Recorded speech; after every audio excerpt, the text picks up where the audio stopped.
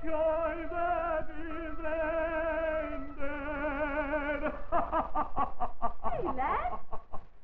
are you laughing at? I'm not laughing, except at the pain that is breaking my... not heartache, lad. That's stomachache. You've been eating something that doesn't agree with you. Look here, madam. You've spoilt my act. I'm sorry. What's it all about? There's a girl called Columbine. And I love her. Does she love you? That's the trouble. I thought she did, but a fellow called Harlequin came along. And stole her away. That's it. Uh-huh. I see. You see, young man, the poets say the right way to a man's heart is through his stomach. That's all right as far as it goes. But do you know the right way to a woman's heart? Obviously, I don't. Now, Harlequin has a way with the ladies. I bet you he's with Columbine in the kitchen at this very moment. Oh, goody. Better than Punchinello's broken heart. I should say. Give me some more. Harlequin's happy. Harlequin's glad. Harlequin's cheery. On with the Harlequins.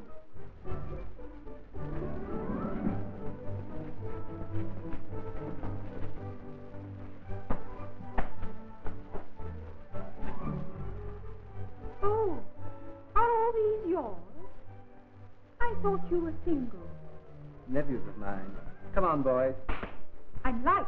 I'm dainty. I'm fresh. I'm handy. Your affection, madam, we wish to win. Yes, we wish to win.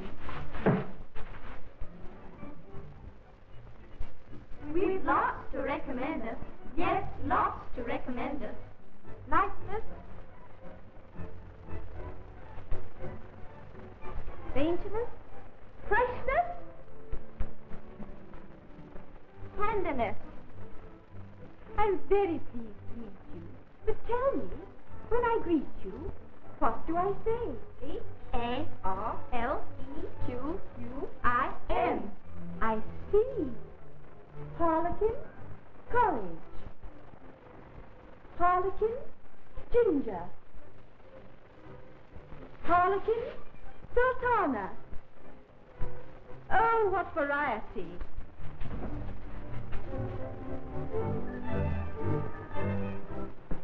Harlequin, Punchinello. you've pinched my Columbine. Why shouldn't she prefer Harlequin? I do. He's lots to recommend him.